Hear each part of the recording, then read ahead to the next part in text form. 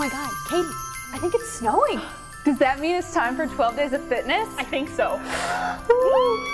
Guys, December 1st through the 24th, we have our 12 days of fitness. It's our annual challenge where you're gonna do two movements on day one, where you do one rep each, and you're gonna work your way all the way up to 12 reps of both movements. And every day, you're going to change your movements, and then it's gonna be a great, great workout, keeping yourself fit through the holiday season, and we can't wait to see you there. Let's get started. Ho, ho, ho. Santa here.